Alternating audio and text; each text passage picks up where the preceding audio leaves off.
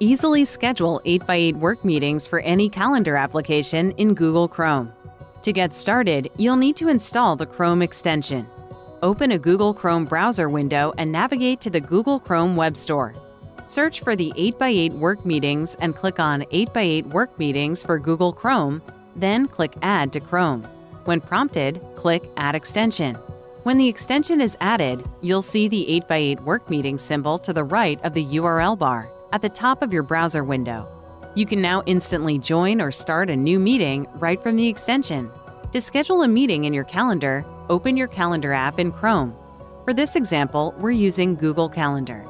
Click on the date and time of your meeting. Then click Add 8x8 Meeting. An auto generated meeting link will populate your calendar event details. Enter the rest of your meeting information, invite your participants, then click Save.